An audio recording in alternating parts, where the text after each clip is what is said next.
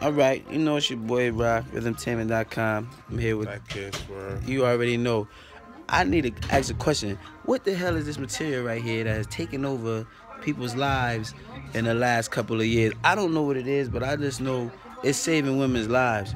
Big girls get in it, make them little. Little girls get in it, make them big. This is super material. So we gonna ask a few ladies when we get a chance. Or maybe not. oh what? We gonna get an interview. Excuse me, miss. Excuse me, man. We know you're not allowed to have your phone here, right? She working right now, y'all. what is the name of that super material that's saving everybody's lives?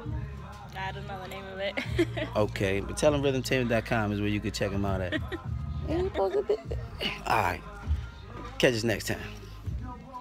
Wait, hold up, hold up, hold up. Excuse me. We in um, what's the name of the store? We in Pretty Woman right now. All right, we got a website rhythmtainment.com. We just asking a question. What's that material? So you can tell them that, say hi, whatever. What's that material? That's what is this called right here? We we asking, what is the name of this material right here?